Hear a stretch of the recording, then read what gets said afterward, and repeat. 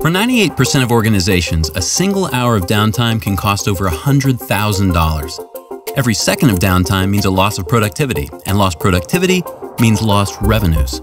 You ever thought about how much you could be losing?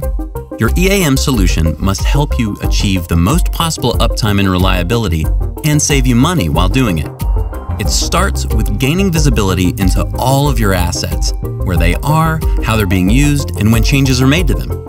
With the right visibility, you can better understand how your assets are performing and proactively determine maintenance needs to ensure a disruption-free and safe operation across your entire enterprise. IBM Maximo gives you the predictive tools you need to improve reliability and eliminate the word downtime from your vocabulary, because uptime is money.